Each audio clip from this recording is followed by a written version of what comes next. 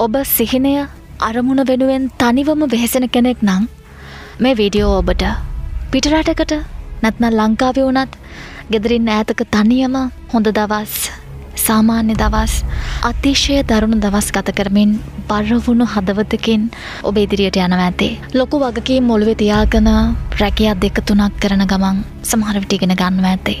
පවුලයාගේ බලාපොරොත්තු නෑදයන්ගේ බලාපොරොත්තු මේ හැම දේම මැත්තේ ඔබේ දුෂ්කරතා උරහිසට නොසෑහෙන්න පීඩනයක් ඇති කරනවා වෙන්න ඇති. හැබැයි අන්තිමේදී මේක තවමත් ඔබේ තෝරා ගැනීමක්. දැන් ඔබ ඉන්නේ ගඟ මැද්දේ. ඉතුරු ටිකත් අමාරුවෙන් හරි පීනල ඉවුරට ළඟාවෙන්න ඕනේ ඔබ.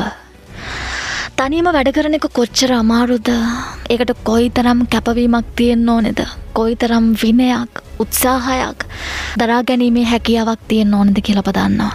හැබැයි තනියම වැඩ කරද්දේ අපි මතක තියාගන්න ඕන දේවල් ටිකක් තියෙනවා. අංක එක. ඔබට දැඩි ආත්මානු කම්පාවක් දැඩි දුකක් ඇතිවුණු බොහෝ වෙලාවට ඔබේ ළඟම ආදරණීයන් එක්ක ඔබට කේන්තියක් දැනේ.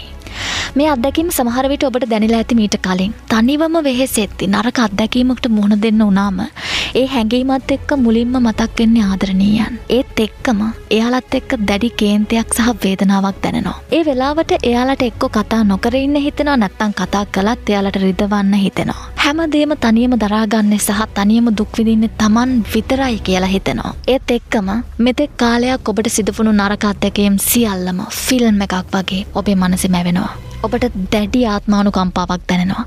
සමහර විට කලකිරීමක්. ඉතින් ඔබ අඬනවා එක්ක. මුළු ලෝකෙමත් එක්ක තනියම තරහ වෙනවා. ඔබ හිතනවා ලෝකේ ඉන්නේ ඔබට එරෙහිව කියලා. මේ සියලු දේ නිසා ඔබ සහ ඔබේ ආදරණීයන් අතර යම්කිසි දුරක් හදාගන්නවා ඔබ. බොහෝ වෙලාවට මේ නිසා සංනිවේදන ගැටලු ඔබේ පවුල සමග ඇති බැඳීම දුරස්වීම අනිවාර්යෙන්ම සිද්ධ වෙනවා. ඔබට එන ප්‍රශ්නය තමයි ඇයි මෙයාලමාව තේරුම් ගන්නේ නැත්තේ කියන දේ. ඇත්තටම එයාලයි සිටුවේෂන් එකේ නැති නිසා සහ එයාලට ඇත්තටම ඔබේ නියම තත්ත්වය තේරුම් ගන්න බැරි නිසා. ඔබ තමයි දන්නේ ඔබ දවස ගානේ මුහුණ දෙන අපහසුතා. බොහෝ වෙලාවට අපි මේවා අපේ ආදරණීයන් එක්ක කියන්නෙත් නෑ ඒගොල්ලෝ වද වෙන බව දන්න නිසා. නමුත් ඔබ මතක තබා ගත යුතු දෙයක් තියෙනවා. ඔබ හිතනවා නම් ඔබේ සියලු ගැටලු වලට තනිවම මුහුණ දෙන්න කිසි කෙනෙක් දැනුවත් නොකර කිසි කෙනෙක් එක්ක මේවා ගැන කතා නොකර එහෙනම් ඔබේ තීරණයේ තරමට ශක්තිමත් වෙන්න ඔබට සිද්ධ වෙනවා. නැත්නම් ඔබව තුවාල නොකරපු මිනිස්සුන්ගේ ජීවිත මත ඔබ ලේහලන්න පුළුවන්. ඔබව නොරිද වූ මිනිස්සු මත ඔබේ වේදනාව තියන්න එපා. මොකද ඔවුන්ට ඕනෙත් ඔබේ යහපත දකින්න. ඉතින් කරුණාවන්ත වෙන්න. ශක්තිමත් වීම කියන්නේ දැඩි අත්දැකීම් වලට මුහුණ දීලා හිතක් පපුවක් නැති කෙනෙක් වෙන එකට නෙවෙයි. ශක්තිමත් වීම කියන්නේ Tamanගේ තෝරා ගැනීමේ තියෙන දුෂ්කරතාවල බලපෑම බොහොම අවබෝධයෙන් උපේක්ෂාවෙන් දරාගෙන Tamanගේ සංවේදී බව, කරුණාවන්ත බව ආරක්ෂා කරගන්න එකට. අංක දෙක. උවමනාවෙන්ම තනිවෙන්න උත්සාහ කරන්න එපා. සමහර විට අලුත් පරිසරයක් එක්ක අපිට දෛනිකව මෝන දෙන්න සිද්ධ වෙන ඍණාත්මක අත්දැකීම් එක්ක අපිට ඕන වෙනවා හැකිතරම් අපේ මනසේ සාමය ආරක්ෂා කරගන්න. එතකොට අපි කරන්නේ තනිවෙන්න උත්සාහ කරන එක. අපි හිතනවා තනියම හිටියම මේව කිසිම ප්‍රශ්නයක් නැහැ කියලා. තනියම ඉන්න එක ප්‍රශ්නයක් නැහැ. ඒක අවබෝධයෙන් කරනවා නම්. ඍණාත්මක අත්දැකීම් මගහැරීම වෙනුවෙන්ම අපි එහෙම කළොත් ඒක අපිට මානසික ආතතියක් ඇති කරන්න පුළුවන්. අපිට හොඳ අත්දැකීම් වගේම හොඳ මිනිස්සුත් මගහැරෙන්න පුළුවන්. ඒ වගේම අපිට අපි ගැන එන ඍණාත්මක සිතිවිලි අපිම පිළිගන්න තත්ත්වයක් ඇතිවෙන්න පුළුවන්.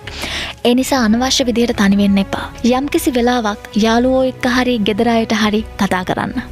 අංක තුන හැම දවසකින්ම උපරිම ප්‍රයෝජනය ගන්න. තනියම ඉන්න කෙනෙක්ට තියෙන නිදහස උපරිමයි. හැබැයි මෙතනදී ඔබ බුද්ධිමත් වනේ නැත්නම් ඔබට සෑහෙන්න පාඩුවක් කරගන්නවා. දවස් නාස්ති කරන්න එපා. මෙතනින් අදහස් කරන්න ඔබ රෙස්ට් කරන එක පොඩ්ඩක් විනෝද වෙන එක වැරදි කියලා. හැබැයි මේ විදිහට ඔබ කැපකිරීමක් කරන්න යම්කිසි අරමුණක් ඇතිව. ඒකැන මේ ටයිම් එක අනිවාර්යෙන්ම ආයෝජනයක් මිසක් නාස්තියක් නොවිය යුතුයි. විශේෂමදේ ඔබේ නවාතැනට එමනත්නම් ඔබේ උපාදියට ඔබ යම්කිසි වියදමක් දරනවා. ඒක ආයෝජනයක් වෙන්නේ ඒ කාලේ ඔබ කොයිතරම් පලදායි විදියට ගත කරනවාද කියනතේ මත. රෙස්ට් කරන්න අනිවාර්යෙන්ම. හැබැයි ඒ සියලු දේ ලිමිට් එක දැනගෙන ඉන්න. මේ වගේ තනියම වෙහෙසෙන කෙනෙක් ඉක්මනින් කම්මැලි වෙන්න නැත්නම් පලදායි බව ගිලිහෙන්න හේතු වෙන්නේ ඔබට ඔබ කළ යුතු දේ ගැන මතක් කරලා දෙන්න කවුරුත් නැති නිසා. ට්‍රැක් එක පනින්න එපා. ඔබ අනිවාර්යයෙන්ම පසුතැවේ. ඉතින් දැඩි කැපවීමක් ඔබට ඕනේ මේ ගමන යන්න. දවසින් දවස ගන්න. දවසින් දවස ඔබේ අරමුණ වෙනුවෙන් වැඩ කරන්න. ඊළඟ දවස ගැන අනවශ්‍ය විදිහට ස්ට්‍රෙස් වෙන්න එපා. අංක 4. Water yourself first. ඔබ ඔබට මුල් තැන දෙන්න. එමිලි මැරෝටියන් කියන ආමේනියනු ගත්කතුවරිය තමයි මේම කියන්නේ. ඔබට අනිත් අය එක්ක බෙදාගන්න තරම් දෙයක් හදා ගන්න නම් ඔබ මුලින්ම ඔබ ගැන හිතන්න ඕනේ. මොකද වතුර හිරුවෙලිය ප්‍රතික්ෂේප කරන ගහකට බෑ අනිත් අයට පළතුරු දෙන්න. තේරුණාද.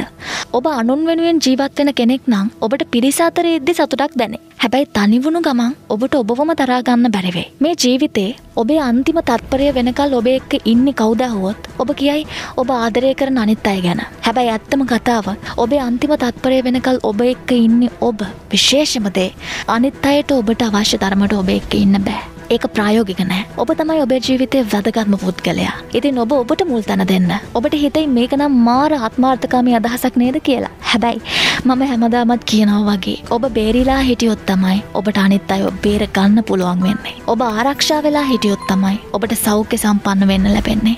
එතකොටයි ඔබට අරමුණු වෙනුවෙන් වැඩ කරන්න පුළුවන් වෙන්නේ. ඔබ ඔබට සලකන විදියටයි අනිත් අය ඔබට සලකන්නේ. අනිත් අයට සලකන්න. හැබැයි ඔබව බලාගන්න වගකීම ඔබේ. මොකද තනිවුණු වෙලාවට ඔබට ඔබව හිමියුණොත් ඔබට නැවත ඔබව ලබාගන්න හරි අමාරුයි. ඔබ ඔබට හොඳින් සලකන්න. ඔබ ඔබට මුල් තැන දෙන්නේ නැත්නම් ඒක වෙන කෙනෙක්ගෙන් බලාපොරොත්තු වෙන්න එපා. මොකද වෙන කෙනෙක් ඔබට මුල් තැන දෙන්නෙත් නෑ. අංක පහ. You want it. You don't have to do it. අපි හිතනවා අපි උපාධයක් ගත යුතුයි. අපි වාහනයක් ගත යුතුයි. මේ වයසවෙත්ති කසාද බැඳිය යුතුයි. විභාගයට ඒ තුනක් ගත යුතුයි. රෑන්ක එකක් දැමිය යුතුයි කියලා. ඒ කියන්නේ සමාජය හදාගත්තු නීති මිසක් ඔබේ පැහැදිලි අවශ්‍යතාවය නෙවේ.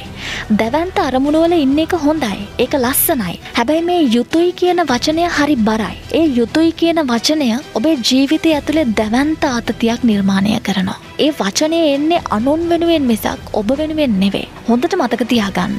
අනුන් විසින් සමාජය විසින් ඔබට දෙන ඉලක්කයට නෙවෙයි ඔබ යන්න ඕනේ. ඔබට අවශ්‍ය ඉලක්කයට. ඔබ දේවල් කරන්න ඕනේ කළ යුතු නිසා නෙවෙයි. ඔබට කරන්න ඕනේ නිසා. I should නෙවෙයි. I want. You want it. You don't have to do it. මේ වෙනස තේරුම් ගත්තම ඔබට ලොකු සැනසීමක් දැනෙයි. ඔබ කරන දේ කරන්න ඕනවට නෙවෙයි. ඔබ ආදරෙන් කරන්න පටන් ගන්නේවේ. අංක 6. තීරණය ඔබ අතේ. සාර්ථක වෙනවද නිදහසට කාරණා හොයනවද? තීරණය ඔබ අතේ. නිදහස 100ට 100ක් ලැබුණ කෙනෙක්ට ඔප්ෂන්ස් දෙකක් තියෙනවා. මේ දෙකම උපරිම සතුටින් උපරිම වගකීමෙන් ගන්න පුළුවන් තීරණ. අංක එක. බොහොම කැමැත්තෙන් හොඳ අවබෝධයකින් තමන්ගේ වගකීම තමන් අතට අරගෙන කිසිම ඩිස්ට්‍රක්ෂන් එකකට ඔබව යට කරගන්න ඉඩ නොදී ඉදිරියට යන්න ඔබට පුළුවන්. ඒක බොහොම කැමැත්තෙන් බොහොම සතුටින් බොහොම අවබෝධයෙන් සහ වගකීමෙන් ඔබට කරන්න පුළුවන්. අංක දෙක. මේ සම්පූර්ණ කාලයම ඔබට විනාශ කරන්න පුළුවන්. ඒකත් බොහොම සතුටින් වගකීමෙන් කැමැත්තෙන් ඔබට කරන්න පුළුවන් දෙයක්. තීරණය ඔබ අතේ. ඔබ වැට හිටියේ. ඔබ හොඳ නරක දන්නවා. ඉතින් ඔබට අවශ්‍යදේ තෝරගන්න. තව දෙයක්. මට ඔබ ගැන ආඩම්බරයි. ඇත්තම කතාව හුඟාක් මිනිස්සු ඔබේ සම්පූර්ණ ජීවිත කතාවම දැනගෙන හිටියනම් ඔබ මූුණ දුන්න හැම අත්දැකීමක් ගැනම දැනගෙන හිටියනම් ඔවුන් අනි වාර්යම පුදුම වේවි. ඔබ තවමත් හිනා වෙන්න කොහොමද කියලා. ඉතින් ඔබට තවමත් වෙන කවුරුවත් මේ ගැන මතක් කළේ නැත්නම් හොඳට හගන්න මට ඔබ ගැන ආඩම්බරයි. ඉතිං ඩිස්ට්‍රක්ෂන්ස් වලට අහු නොවී පරිස්සමින් සතුටින් වැඩ කරන්න. ගුඩ්ලක්.